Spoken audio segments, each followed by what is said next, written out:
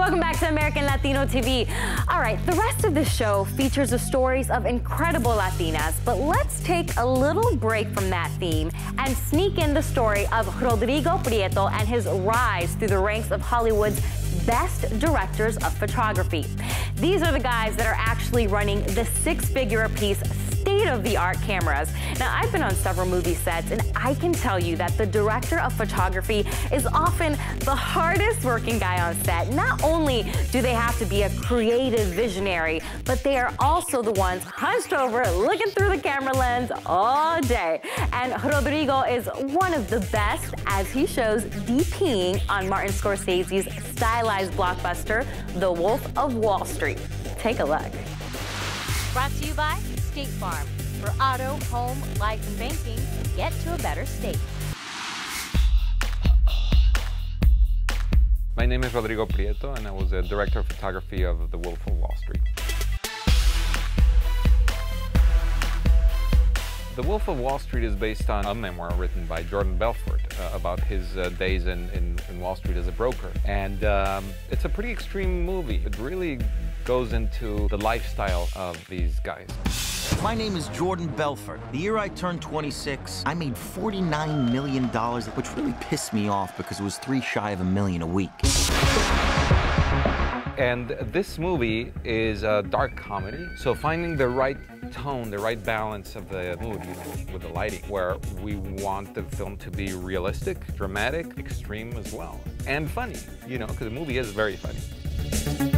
Essentially, you know, they want to give us free rein to explore that dark side and and um, not do a sort of G-rated version of this movie. And they want to, you know, give us the budget to sort of uh, show the epic expanse of this world in the 90s in, in, in America.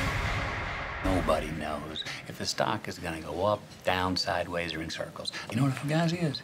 Oh, Fugazi. It's a uh, fake. Yeah, Fugazi, Fugazi. It's a wazi, it's a woozy, it's a fairy dust.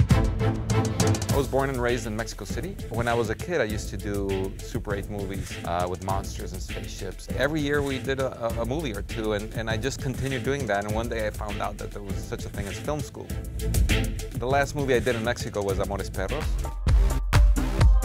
Amores Perros was kind of bold for that time in Mexico, at least. I remember the, the producers, when they saw the tests of what the way we wanted to shoot the film, with a process and the developing of the negative that created extreme contrast and grain, and the image has a lot of texture, and they felt they were worried that it would look like a cheap movie. I think that called the attention of, of many people and uh, led to some other projects that I did later, 8 Mile, 25th Hour with Spike Lee, things like that. I've also been lucky because the movies I'd done before in Mexico were such a different style, like Frida, or uh, my first American movie was Original Sin, and those are completely different styles. So just a little bit, yeah. so don't really change it too.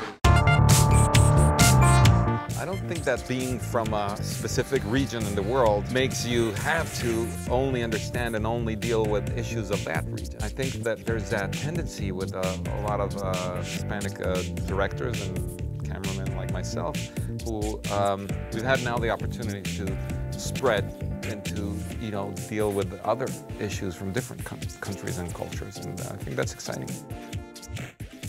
Set, set, and background, and action.